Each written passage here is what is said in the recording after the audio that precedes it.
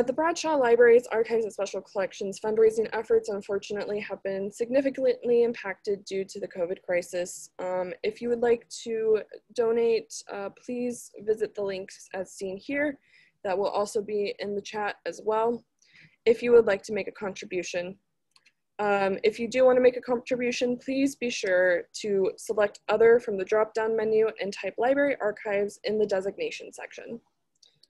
Donors for of $30 or more will receive a 16 inch by 24 inch printed copy of the Fight for the Ballot exhibition poster.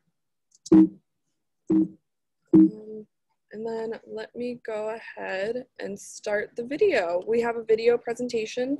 Um, the League of Women Voters in Sanibel um, did a dramatic reading um, that brings to life the struggles and challenges the heroes of the women's movement faced. Um, after the reading, there will be a Q&A uh, with Professor of History, Dr. Frances Davey, and Sanibel League of Women Voters member Madeline Studer, and Governing Board of Progressive Women of Southwest Florida member Audria Anderson. Without further ado, let me go ahead and start that video for you all.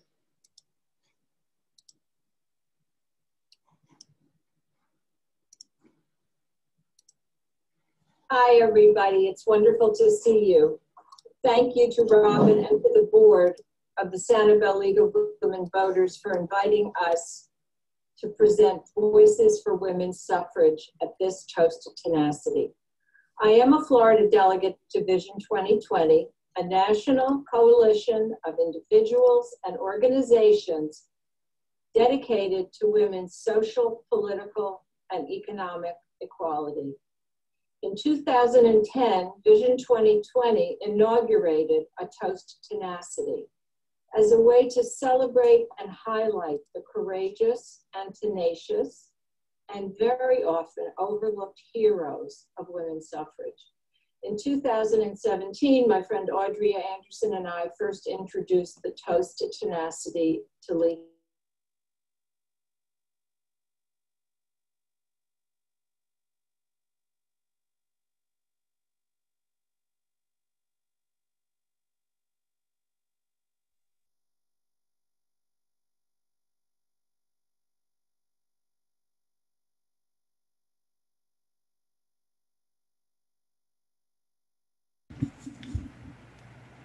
Hello? Can anybody hear? Because nobody can hear. Yes, I can hear you now. Thank you.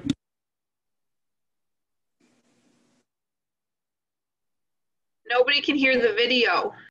Yeah, oh, Bailey, Now I can. Bailey, if you're on the call, if you muted yourself, you've muted the whole screen. Oh, I'm so sorry. I had no idea. I was just trying to stop the noise. Let me start that again. It's okay. League of Women Voters for inviting us to present Voices for Women's Suffrage at this Toast to Tenacity. I am a Florida delegate to Vision 2020, a national coalition of individuals and organizations dedicated to women's social, political, and economic equality. In 2010, Vision 2020 inaugurated a Toast to Tenacity as a way to celebrate and highlight the courageous and tenacious and very often overlooked heroes of women's suffrage. In 2017, my friend Audria Anderson and I first introduced the Toast to Tenacity to Lee County. This is our fourth annual toast. Alice Paul, pictured here with her glass of grape juice held high, toasted the passage of the 19th Amendment exactly 100 years ago today, on August 26, 1920. Later in the program, as you heard, we'll have our own toast, but you do not have to drink grape juice. And we won't. and you won't, that's right. Thanks. It's a pleasure to have so many friends with us today. 68 so far, and I think we had 100 signed up, but you know, the vagaries of Zoom and whatever. Anyway, you're from across the country today, all the way from Texas, where my daughter is, and Maine, where Carol Guestwicki is. So uh, It's great to have everybody here. This could never happen except for the beauty of Zoom. But actually, we're part of a much larger celebration. Across the country today, thousands of individuals and hundreds of organizations, all members of Vision 2020, are gathering virtually to celebrate the passage of the 19th and the heroes who made it possible. The programs will differ, but we all honor the tenacity of the suffragists. So today we're going to learn more about our shared history. Remember that image of Alice Paul we were just looking at? She may have appeared to be a conventional young woman, but Alice, the suffrag suffragists you will hear from today, and the thousands of others who came before and after her were anything but conventional. They were revolutionaries. They fought against the centuries old white male dominated power structure and they fought for equal rights for all women.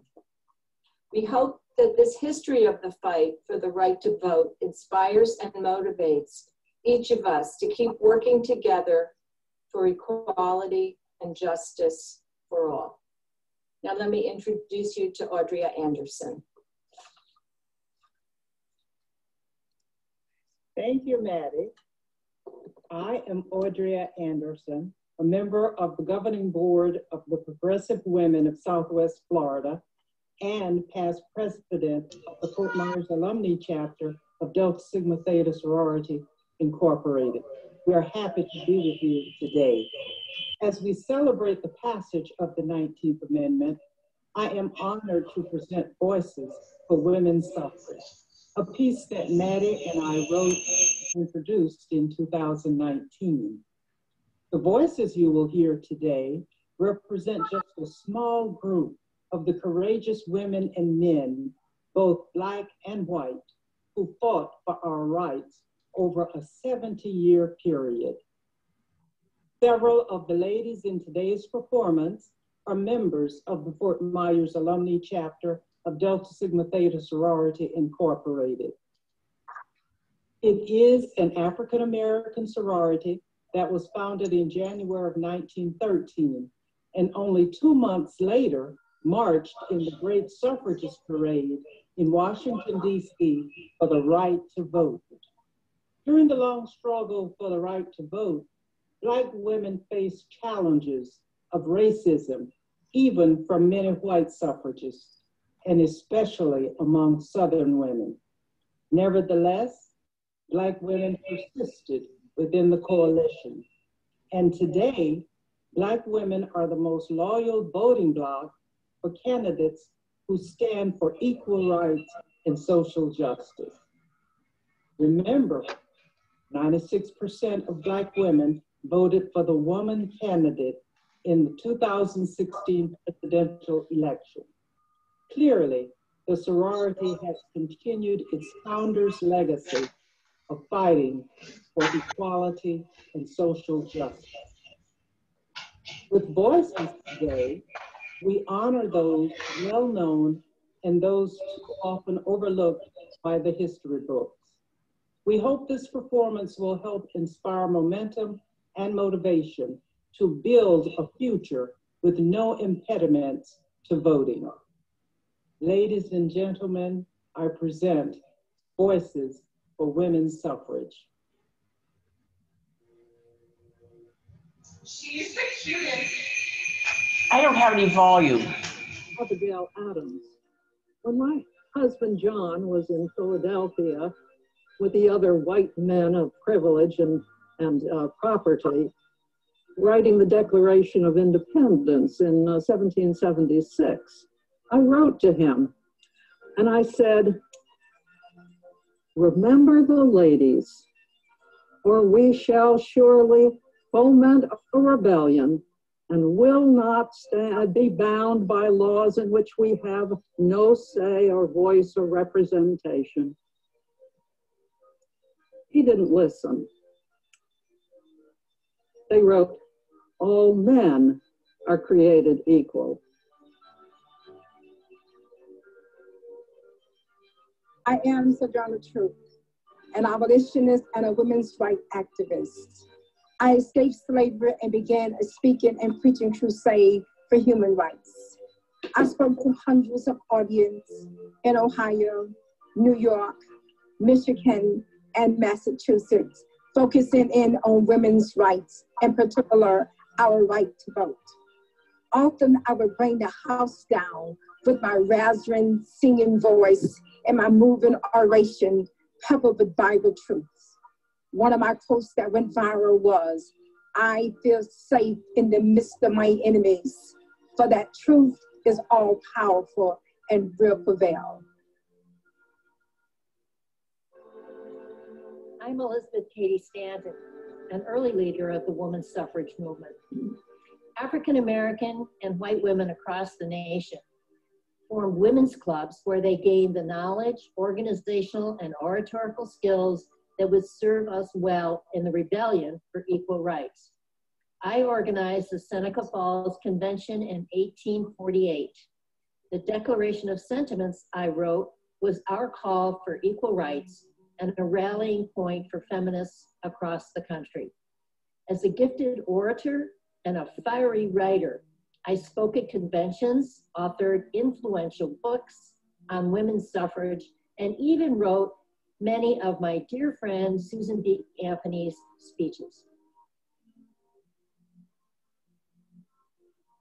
I am Frederick Douglass, icon of civil rights. I escaped slavery, taught myself to read and write, and became a leading national voice for human rights through my actions and my newspaper, The North Star. Later, I wrote, Knowledge is the pathway from slavery to freedom. I worked closely with my friends Susan Anthony, Elizabeth Cady Stanton, and others in the abolition of slavery movement. And we worked just as passionately for women's suffrage my compelling orations at Seneca Falls convinced the audience to include women's suffrage in the declarations of sentiments. I'm Susan B. Anthony, a pioneer activist for human rights, starting with my work for women for the abolition of slavery. You know my work for women's suffrage, for 50 years, I gave the suffrage movement force and direction. That's why the 19th Amendment is often called the Susan B. Anthony Amendment. My other social reform efforts also came to fruition. Women's right to own property separate from their husband, a woman's right to be a joint guardian of her children, a woman's right to enter into contracts, a girl's right to sit in a classroom alongside boys and a woman's right to attend colleges and universities and learn alongside men. I've dedicated my life to the struggle for human rights. I am Mary Ann Shadd Cary, a journalist, teacher, lawyer, and national newspaper publisher, where I promoted abolitionists of slavery and women's suffrage in my day, newspapers were very influential. They were the only purveyors of news and important current issues. As a publisher, I provided strong editorial commentary and culture in my newspaper. As a journalist, I wielded strong influence in the evolution of slavery and later in the women's suffrage movement. I founded the Women's Colored Women's Progressive Franchise, which advocated women's rights. I joined the National Women's Suffrage Association and worked with Susan B. Anthony and Elizabeth Cady Stanton. Together, we testified for women's rights before the Judiciary Committee of the United States House of Representatives. None of us who began the rebellion for equal rights live long enough to exercise our own right to vote. None of us could be certain that universal adult suffrage would be achieved. Those who came after us continued to struggle. We are the pioneering voices behind the 19th Amendment.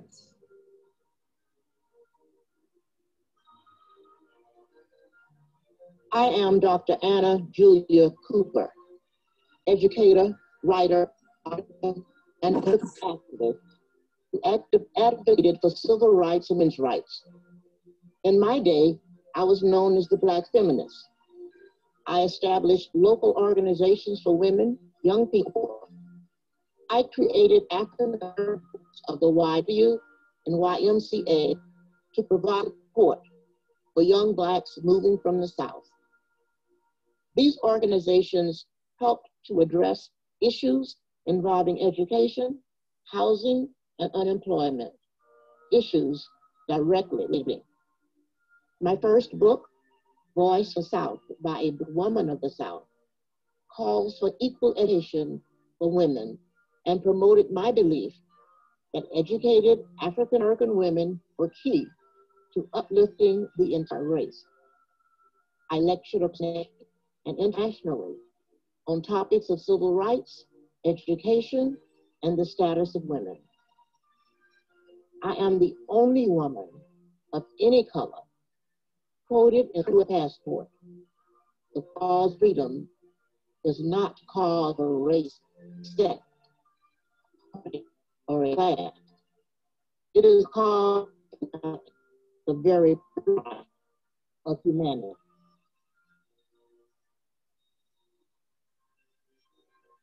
I am Ida B. Wells Barnett, civil rights and women's rights activist, teacher, and journalist.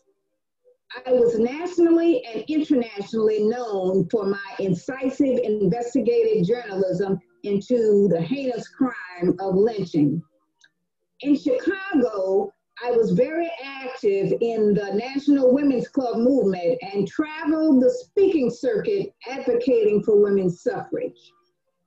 In the 1913 Women's Suffrage Parade in Washington, D.C., instead of marching at the back of the line as I was directed, I insisted on marching with my Chicago delegation.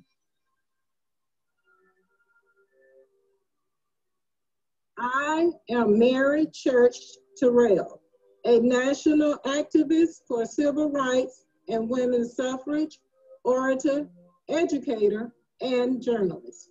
I am a founding member of the NAACP and a founding organizer of the Delta Sigma Theta sorority.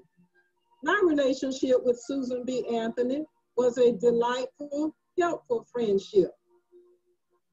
I worked with Frederick Douglass on civil rights campaigns, organized Black women in America to fight against lynching and for educational reform. I picketed the Wilson White House for better treatment of Black veterans. I fought for women's suffrage and civil rights because I recognized I belonged to the only group in this country that has two such huge obstacles to surmount, both sex and race. I was recognized internationally as a leader for civil rights. My highest profile speech was delivered in Berlin, Germany at the International Congress for Women. I received a rousing ovation when I delivered my address, first in German, next in French, and lastly in English. I was the only Black woman present.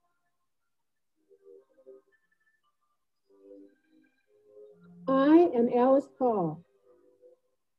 While studying in England, I joined the suffragette movement there. From there, I learned the value of a militant headline. Grabbing, sorry, I'm trying to. Headline grabbing, protests, and civil disobedience. In 1913, we organized the first Women's March in Washington, D.C. What was our goal? a constitutional amendment for women's suffrage. Our march of 8,000 strong brought half a million people out to support us, but some came to heckle and harass us. A near riot ensued. I continued organizing protests, and in 1917, 1,000 silent sentinels, women in white from across the nation, began 18 months of picketing the White House. We endured verbal and physical attacks. Instead of protecting our right to free speech and peaceful assembly, the police arrested us. We were held in deplorable conditions and suffered inhumane treatment. We were beaten and force fed. This mobilized public opinion, producing greater awareness and sympathy for our cause. By 1918, President Wilson announced his support for women's suffrage and called for an amendment to the Constitution.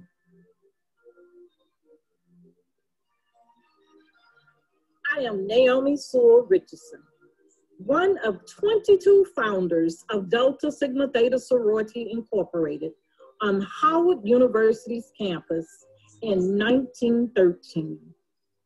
My sisters and I formed this sorority because we wanted to engage in community service and fight for human rights to improve the welfare and quality of life for humanity. Two months after we organized, we joined the Women's Suffrage March of 1913 in Washington, D.C. That experience set the stage for our lives' work. First, we were relegated to the back of a parade of 8,000 strong. The violence from hecklers was frustrating and terrifying. We persisted. Many of our parents asked us not to march because they feared for our safety. But we were passionate about our cause and held the DST banner high and marched anyway a legacy of persistent and passion for social justice and human rights was passed down to the current generation of over 300,000 deltas in over 1,100 chapters around the world.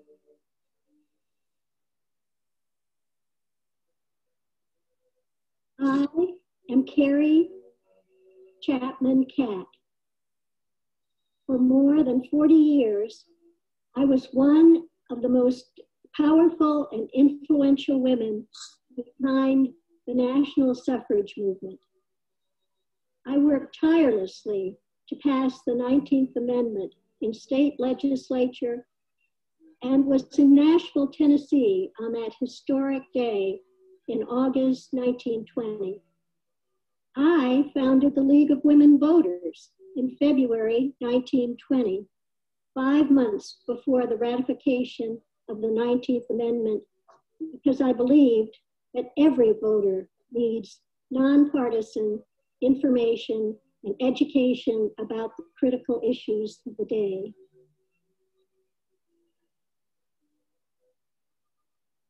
I'm Harry T. Burn. On the 25th day of August 1920, a very hot day in many respects, I cast a swing vote in the Tennessee legislature that changed the course of U.S. history. It made the ratification of the 19th Amendment to the Constitution a reality. Of course, the night before the vote, I received a letter from my mother that said, Harry, do the right thing by the ladies. We are the voices that push the 19th Amendment across the finish line.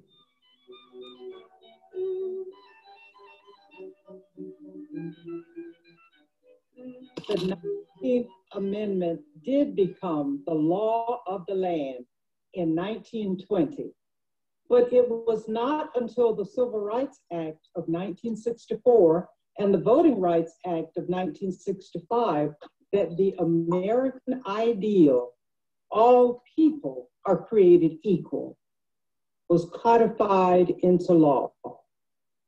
Even today, 100 years later, there is still work to do. Inequities remain. Gerrymandering, poll closures in selected communities, purging of voter rolls, discouraging mail ballots during the pandemic, denying the vote to former felons, and other roadblocks to voting continue. Today, we may celebrate, but tomorrow we get back to work on equal rights for all. So everyone, please join us as we read in unison the words of the 19th Amendment to the United States Constitution.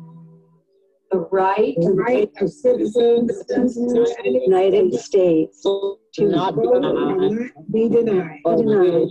The United States States or by any state on account of sex. on account of sex. On account of sex.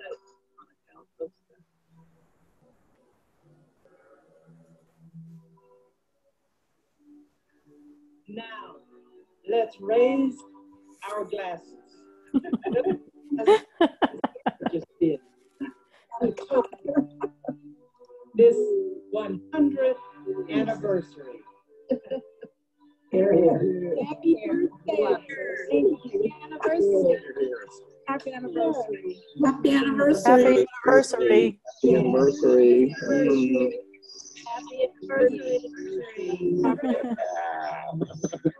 Happy anniversary. All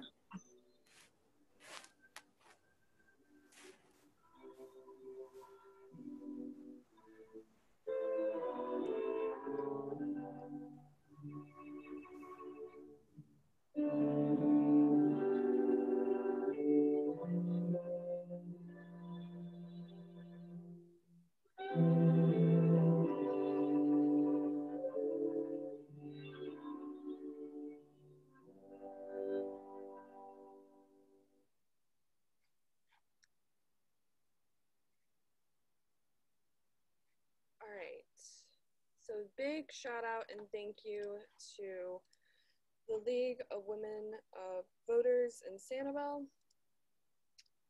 Uh, can you guys all still hear me? I can. Okay, awesome. Sorry. That's okay. Just just a reminder, there is no sign up sheet in the chat. All right, let me go ahead and send that again.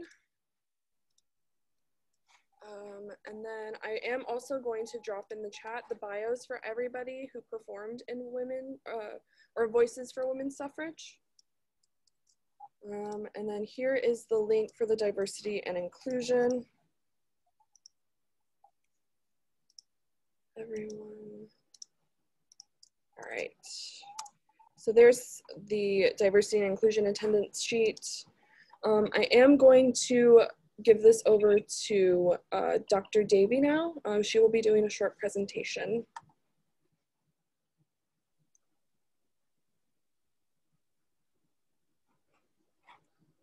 Hello. You can all hear me? Yes. Excellent. Okay, so um, what I'm going to do is uh, first, I wanted to um, thank um, uh, Melissa Vanderberg um, for inviting me to, um, to speak um, today at this event.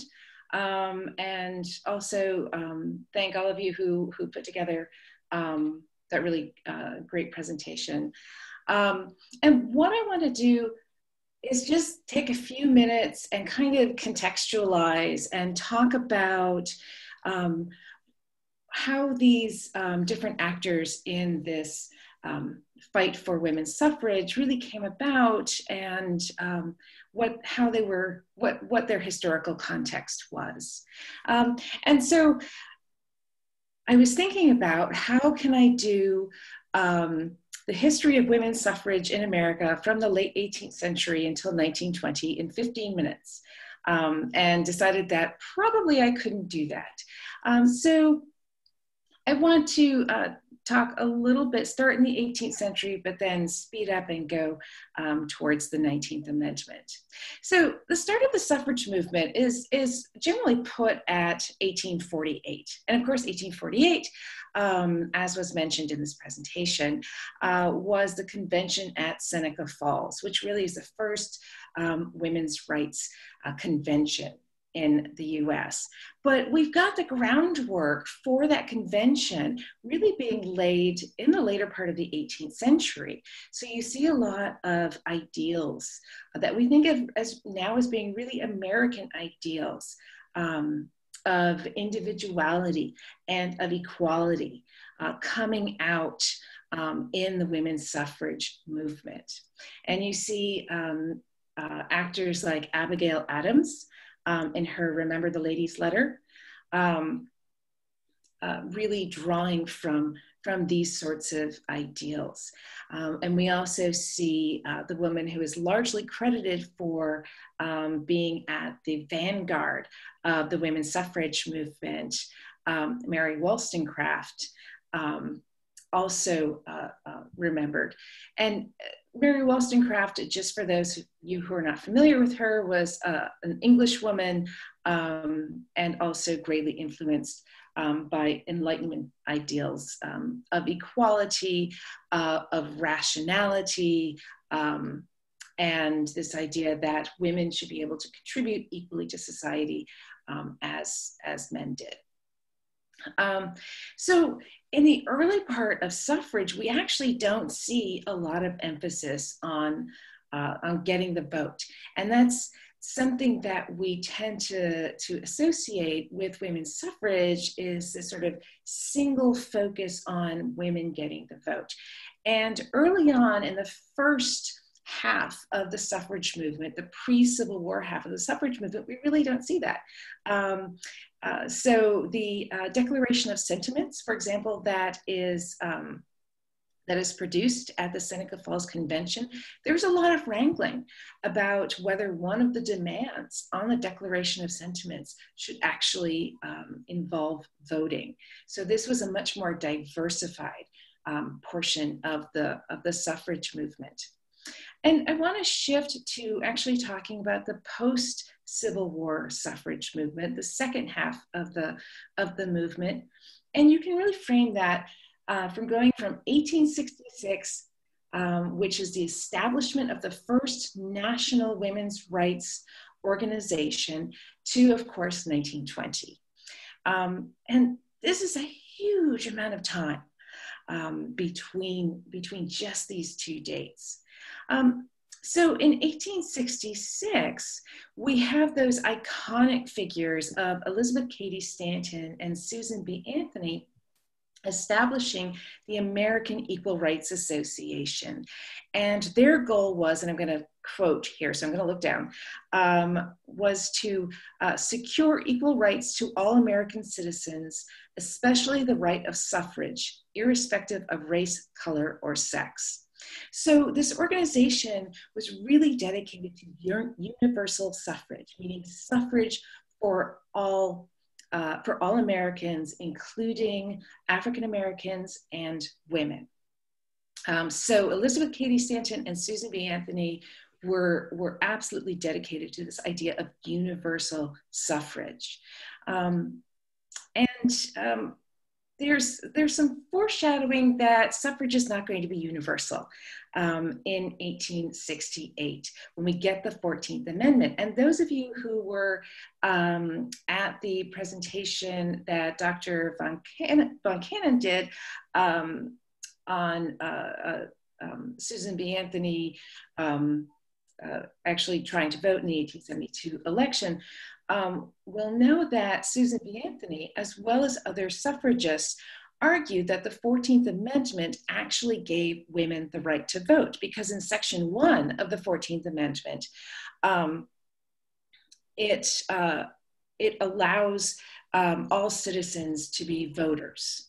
Um, but later on, um, uh, in Section 2, um, oh, excuse me, um, in, in section one, it says all persons born and naturalized in the United States are, are citizens of the United States and citizens of the United States, um, of course, are afforded the right to vote.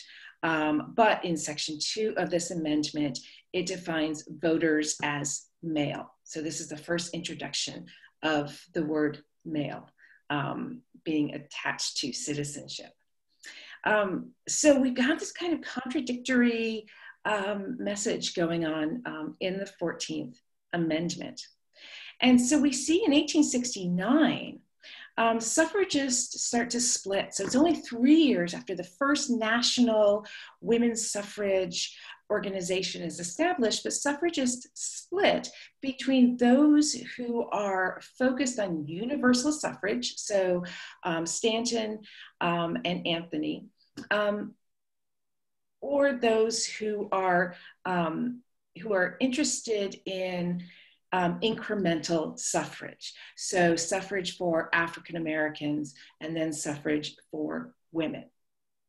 Um, so we see this uh, the the um, the suffragist movement really splitting into two national organizations, and we get into kind of alphabet soup here. Um, we get into the American Women's Suffrage Association and the National Woman Suffrage Association. So the American Women's Suffrage Association, the AWSA, um, is established by, uh, by um, prominent individuals, Lucy Stone, her husband Henry Blackwell, um, Julia Ward Howe, who you might know wrote the Battle Hymn of the Republic, um, Henry Ward Beecher. Um, they established the AWSA and um, they support the 15th Amendment. Okay, and the 15th Amendment is, of course, get, giving um, uh, African American men um, the right to vote. Um, now, the NWSA, the National Women's Suffrage Association, is made up of, of Stanton, of Anthony, and of others, uh, but these two women are really spearheading this organization, and they actually refuse to support the 15th Amendment. And the reason that they they refuse to support this amendment is not because they're opposed to um, suffrage for African American men, but they are dedicated to this idea of universal suffrage. And they're afraid that if African American men get, um, get the vote, then women will uh, fall by the wayside. Um, so they wanted a constitutional amendment guaranteeing um, female suffrage. Um, so so we get this real conflict this real split um, between these figures who are are still working towards um, somewhat of a common goal but just in in different ways now in the 1870s we really see suffrage picking up so it's still you know almost 50 years um, before uh, the 19th Amendment, but you see the spread of suffrage activism on national and local levels. You see publications like the AWSA's uh, the Women's Journal and local suffrage publications, um, really spreading this idea and spreading the popularity of um, American women's suffrage. And um, we get um, uh, more outspoken suffragists doing things like trying to vote in national elections. So we see that, of course, with Susan, B. Anthony um, and, and other women in New York in 1872, as well as Sojourner Truth, um, who unsuccessfully demands a ballot in Battle Creek, Michigan um, at that time. Um, so, so there's lots of infighting, but these two organizations come together once again in 1890 and they become they basically squish their names together and they become the national women's suffrage associate uh, excuse me the national women's suffrage association association and the american women's suffrage association merge into the national american women suffrage association or NAWSA um, it's facilitated by Alice Stone Blackwell. It's headed up by Elizabeth Cady Stanton. And we see at this point a combination of state by state and federal campaigns for, um, uh, uh, for uh, women's suffrage. uh, for, um, an, an, uh, and of course, this all precedes um, the 19th Amendment. Um, now, at this time, as suffrage is really heating up, there, of course, is a lot of opposition to women's suffrage. And there's a lot of really amazing uh, rationales um, behind um, uh, denying women the right to vote, which I won't go into here, but if you want to hear about them, I'm happy to talk about them. Um, and we also get the spread of women's suffrage on a state by state basis, particularly in the West. And there are Western states, um, uh, including Colorado, for example, that starts um, that in 1893 um, opens the vote to women. We see Western states where women are actually given the right to vote or, or they're given the right to vote, um, not just on local elections or state elections, but also um, on a federal level. Um, so, but this is not um, this is not yet the law of the land. Um, so, so we get all of this heating up um, through the 1890s, and we start to see again some agitation between the more conservative, middle of the road um, suffragists and um, suffragists who want to be a bit more radical. And it's really the radical suffragists that you think about when you think about suffrage often. Um, the ones who uh, were picketing outside the White House, um, demanding that uh, President Woodrow Wilson um, uh, pass um, the Women's Suffrage Amendment, also known as the Susan B. Anthony Amendment. And we see the passage of that amendment after um, a good amount of um, uh, political wrangling, we see the passage of that amendment. Um, finally, in 1919, it passes both the House and the Senate, goes to the states for ratification, and is finally ratified in 1920. So this is ratified in 1920, but this amendment is first introduced to Congress in 1878. Um, so it goes to Congress and it gets stalled again and again and again uh, before it finally um, is pushed through after after much wrangling um, and, and after much um, activism, um, both uh, in terms of kind of behind the door, behind the scenes lobbying, um, as well as very in your face picketing happening on the part of, of women's suffragists. So, um, women's suffrage, um, American women's suffrage is an incredibly um, complicated, fraught, and um, really exciting piece of our history. And, you know, I, I feel um, that to not vote after what these predominantly women went through okay, white women, African American women went through is sort of a, a disgrace. Um, and so, uh, to so this is to me um, just knowing the history of um, the struggle for suffrage um, is is inspiration and motivation um, to vote. So, um, with that, I would like to I would like to throw it back to Bailey. Yeah, we'll go ahead and start questions. Um, I see one from Brianna Lynn, and she's asking Dr. Davey, can you speak to the history and current state of the Equal Rights Amendment? Yeah, so that's that's fun. Um, um, so the Equal Rights Amendment um, actually came about, uh, was first written in 1923. Um, and um, this is an amendment that um, Alice Paul really pushed for. Um, and the Equal Rights Amendment has um, gone before Congress, um, I don't know how many times, has gone before Congress and was uh, ratified by a number of states before it kind of ran out the clock in 1982. And it recently uh, within the past, I don't know, in the past six months, I could be wrong, somebody correct me, but um, was brought up again in Congress, um, and this was championed by a number of women in Congress. And I know Nancy Pelosi um, talked a great deal about this, um, about finally ratifying the ERA. So it still is not, has not been ratified. Um, the people, the, the members of Congress today who are interested in, um, in uh, pushing the Equal Rights Amendment through um, are I don't think they're entirely Democratic, but they're almost entirely Democrats. Um, and there are, of course, a number of Republicans who um, uh, who are who oppose it, including Mitch McConnell, who um, was quoted as saying that he is.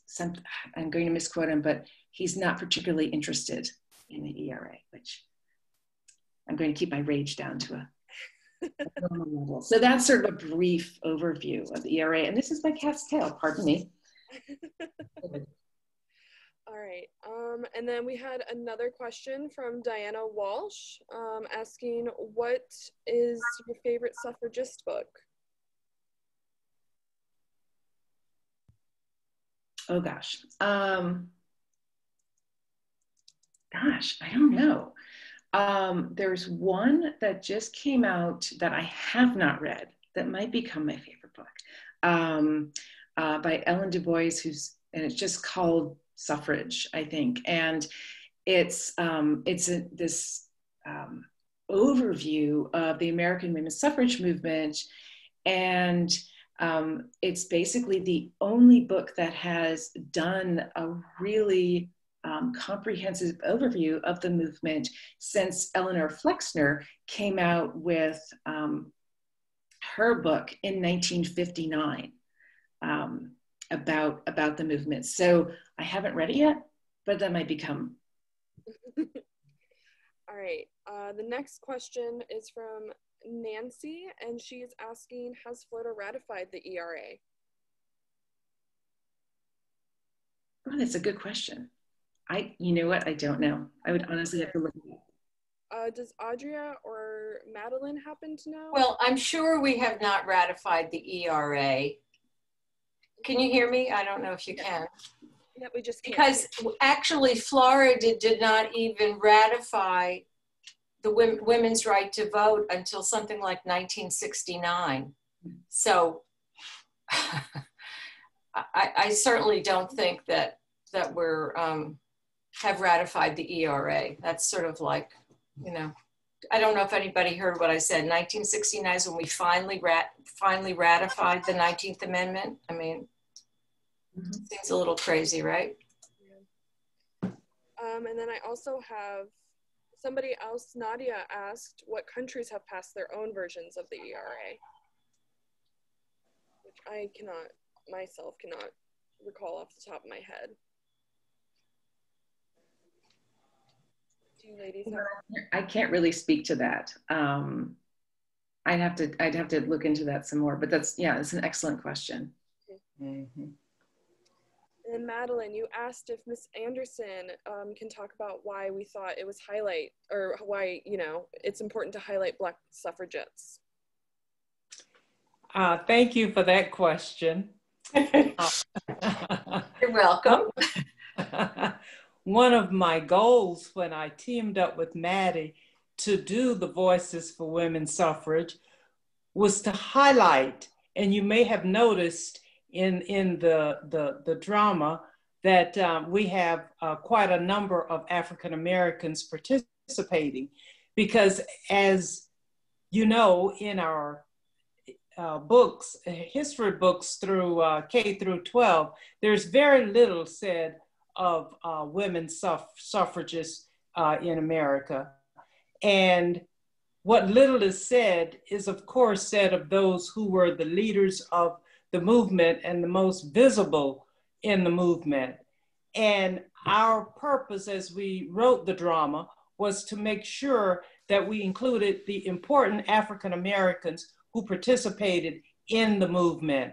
Um, they had different roles. As you know, the Southern women were very much against the uh, uh, Black women participating.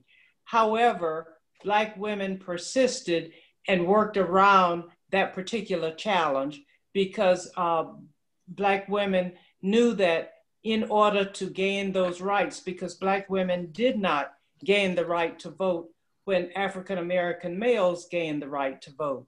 So they did put themselves out there with white women to make sure that they would gain the right to vote. So they worked very hard, as I said, probably in a different way, forming clubs, passing out leaflets, uh, coming together in rallies to make sure that they had a very strong coalition within their own community.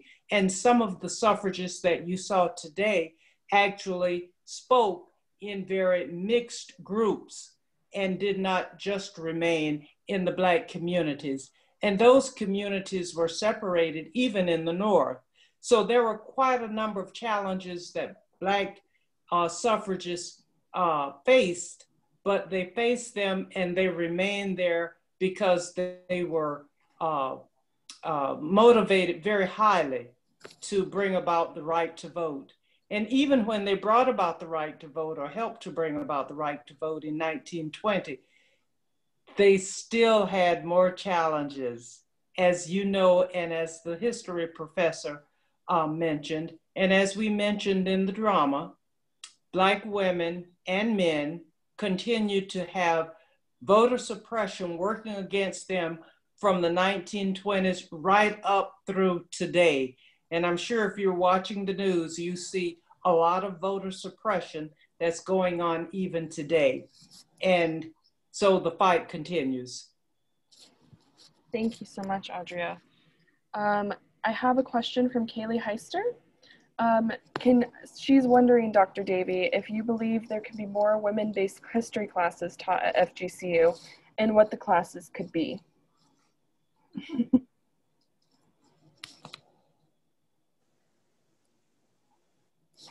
oh, you're on mute. it's all good. There we go. There. Okay.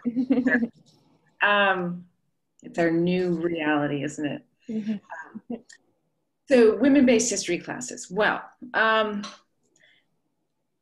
we actually see an evolution in sort of the history of, of women's history um, so that uh, we're seeing more um, classes that are not just women's history, but also gender history, um, also history of sexuality, which I also teach. Um, a lot of different courses that where where gender is really um, at the very core um, of the course, um, even if it's not in the title. Um, what I would argue for is a greater integration of a multiplicity of voices um, in our, uh, you know, in in just our basic understanding of of uh, of history. Um, and of course, I'm a, an American historian, so I, I, I speak from that um, I speak from that perspective. But what we tend to do is kind of section off um, different demographics, right? So um, here's um, uh, you know white women are doing this, and um, black women are doing this, and da, da, da. and you know, but there's so much integration that um, needs to happen in terms of you know where these stories meet and where they overlap. So I would argue for greater integration um, within our courses, um, which you know some people like to do more than others. Thank you. Um, Melissa is asking to each of you, what does feminism mean to each of you? That women are equal to men mm-hmm. and need the same rights and equal pay, equal representation in the government, mm-hmm. and on. Are you two ladies in agreement with Madeline? yeah, certainly. Um, you know, at, at the heart of, of feminism is this fight for equality that is, uh, you know, that's never ending. Um, and um,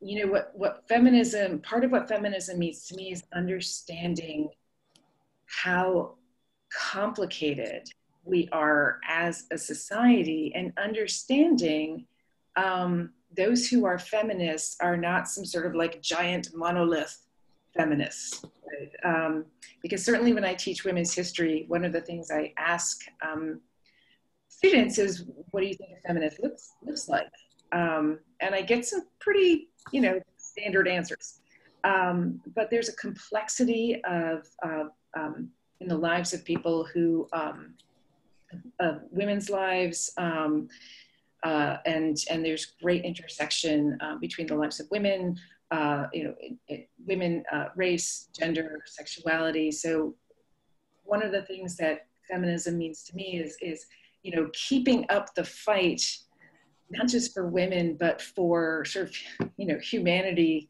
um, in general and understanding that that we all deserve um, all deserve this this equality which sometimes in, in the present day is often a, a taxing thing mm-hmm.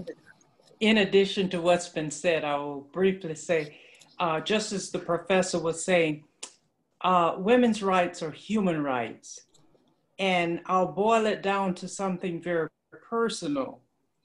When women are in a boardroom or in any situation and women offer an opinion or uh, information to the discussion,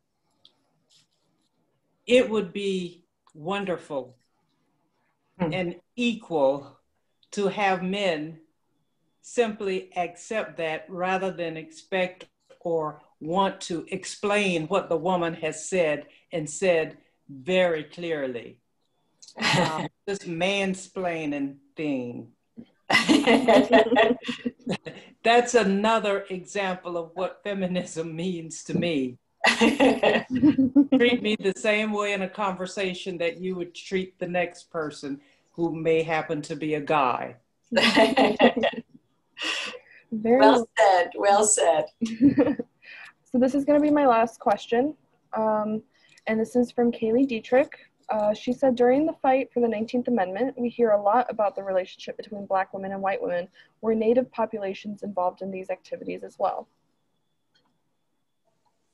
So um, I can I, I, know about this much about uh, unfortunately about Indigenous women um, during uh, during suffrage. Yes, um, Indigenous women had a role um, in in suffrage, and certainly it wasn't a central role, and it wasn't, um, you know, it wasn't a very visible role. And one of the things that um, uh, one of the things that that um, suffrage tackles is this idea of citizenship. And um, you know, women are really during this time are struggling to um, to claim um, their right of citizenship as are Indigenous people um, who are only recognized by the federal government in the mid 1920s as um, right as having rights of citizenship. Ironically, yeah, they didn't gain the right of citizenship till 1924. Mm-hmm. There's a group of Native American people in upstate New York. I think you know we would maybe call them the Iroquois or the the Oneida group, but they're called Haudenosaunee, I believe. I'm not sure how to say the name. I was searching for this book that I have, but they have um, kind of a constitution. And Susan B. Anthony and many of the women who lived in that area of the country were very, very influenced by those Native women. Because although the men were the chiefs, the hmm. women were the ones who, who were there making decisions the a decision could not be made without them. So they were very inspirational to many of the women who were in that area of the country and who we know as the first feminist, quote unquote. Haudenosaunee? I don't know, Professor. Do you know that name? Um, I'm sorry, which name? This tribe that's in upstate, that was, and her probably still is in upstate New York, around the area where around the Seneca Falls mm-hmm. area. Mm-hmm. Um, Susan Susan Anthony, so forth knew these women and borrowed many ideas from their constitution. Right. I mean, they were the Iroquois. Um, and possibly, called say, I think. I don't know. We'd have to look it up. No, I know Iroquois. Yeah, yeah. S- similar. Yeah. I think I think the thing that just should be emphasized is that women gaining the vote was the most. It was such an incredible social movement. I mean, think about women's roles where they could they if they were to leave their husbands, the husband would have the children. I mean, the the the women were such they were just property of their husbands. And through this whole period, mm-hmm. these women and men, and Frederick Douglass was in the vanguard with them, were able to totally transform the way this country is, although we still have work to do, obviously, because white men still are holding on to power and, you know, will be as long as we let them. Vote. yes. Yeah.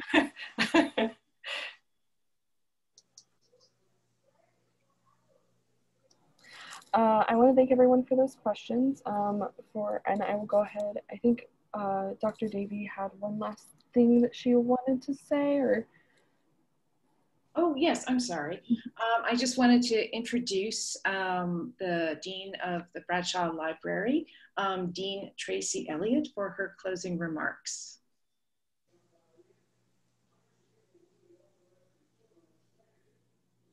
I didn't unmute either.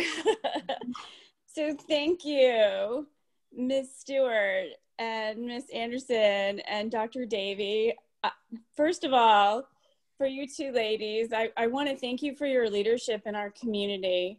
I mean, it, it means so much to us that you, especially as a library um, and a university, that you are fighting for valid information about voting and about elections that we are all so dependent upon and for, for working so diligently to make that available to all of us. The League of Women Voters is a is an organization that all of us should be aspiring to be. and um, we really appreciate it. And what you've done for us tonight is an, another example of how fantastic you are as an organization. And, and um, so I, I just want to thank you both for being here and inspiring us to do this program. I also want to thank Dr. Davey, of course, for, for your lecture. Um, always a pleasure and and I wanted that Melissa's thanking you all, but we all have to thank Melissa and Bailey, who without the two of them, we wouldn't be here this evening at all. And I don't want to take away from the importance of the work that they do. They are phenomenal. Every time they I see one of these events, I'm I'm always blown away, particularly by Bailey and her professionalism. She's so good at this. Um, but for those of you who have attended, I want to thank you all. It means so much to us as a library. Please, please look at our uh, online exhibit. There's so much work put into this. And, um, and then for those of you who can, if you could contribute to the good work of uh, Special Collections and Archi University Archives, there is a link on our site as well as on the foundation page. And so we we hope that if you can give, one of the things we're we're happy to do is mail out that fantastic poster that uh, that um, you have that we have on the exhibit. Um, but also just a big thank you for you all being here tonight. In many ways, that's that's the most we can ask, and and that we we celebrate the most. But thank you all again. Fantastic evening, and uh, I've just I'm so excited to celebrate this amazing occasion uh, of our 100th year anniversary of the right for all of us to vote. It's fantastic. Thank you. Thank you, everyone. Have a good evening, everybody. Thank you. Thank you. Bye.